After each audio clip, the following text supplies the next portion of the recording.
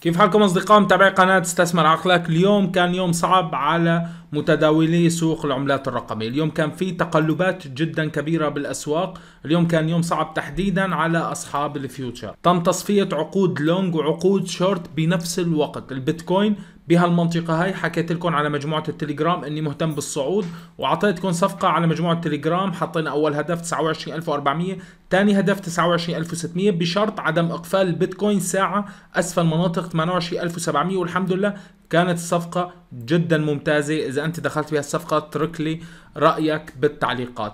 أيضا كانت وجهة نظرنا بالسابق من لما كان البيتكوين بمناطق 30300 هو الهبوط لهالمنطقة هاي لمنطقة 28800 صعود تصحيحي ارتداد لهالمستطيل هذا من ثم العودة إذا بتتذكر أيضا هالكلام أيضا اترك لي رأيك في التعليقات. لحد الآن البيتكوين ماشي مثل تحليلنا بالضبط. خلينا ننتقل للتفاصيل. إذا أول مرة بتشوفني أتمنى منك تشترك بالقناة فعل زر الجرس حتى يوصلك الجديد. أيضا اترك لي تعليق على الفيديو. ممكن تكون أحد الرابحين مسابقاتنا اليومية.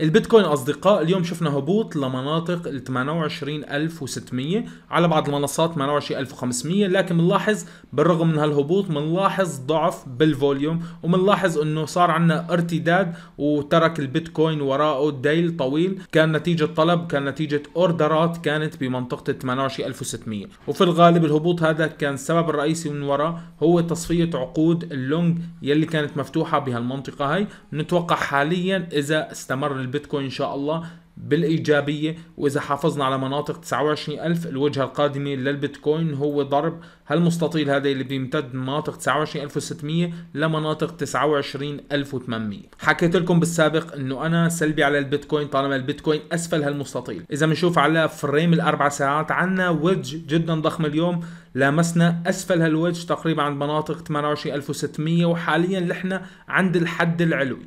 في حال اخترقنا هالمنطقة هي قدرنا نثبت اعلاها راح يكون عندنا أول تحدي هو مناطق 29800 لحتى أضمن إنه الصعود هذا ليس للكود صفقات الشورت لازم نتغلب على المنطقة هاي.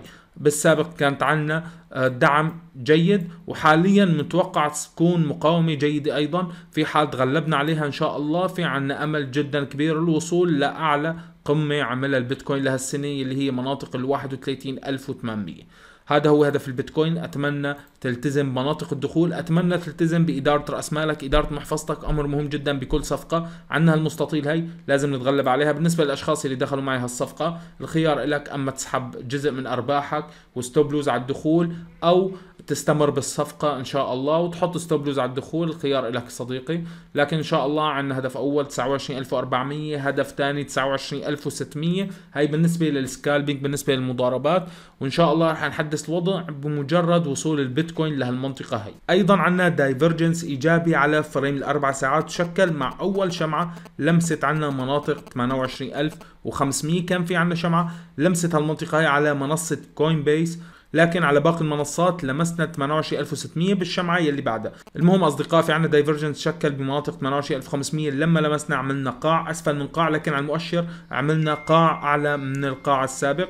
وهذا بيدعم الصعود إن شاء الله مجرد اختراقنا للمستطيل يلي تكلمنا عليه يلي بيمتد مناطق 29600 ل 29800 هيك وصلنا لنهاية الفيديو. أتمنى ينال اعجابكم خلينا ننتقل للفيديو السابق حتى نعلن اسم الرابح مسابقاتنا اليومية.